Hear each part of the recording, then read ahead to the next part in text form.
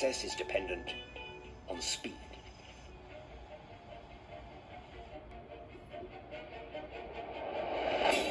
The Mako is the fastest shark in the ocean.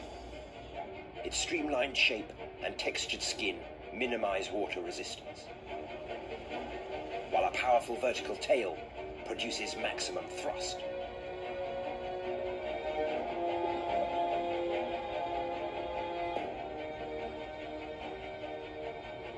It's basically a torpedo with teeth. But a top speed of more than 70 kilometers per hour comes at a high price.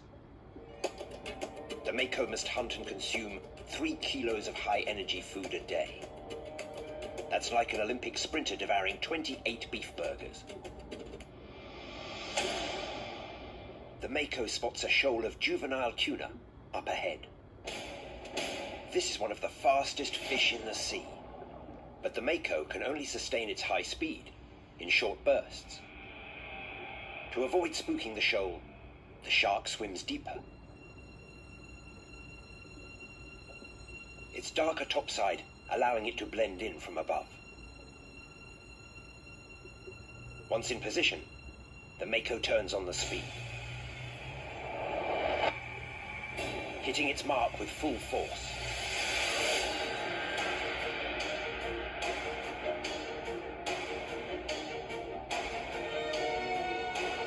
Tuna is high in protein and low in fat. To ensure the Mako consumes enough calories, the hunt must begin again. While the Mako is one of the fastest predators in the water, land, it's the cheetah.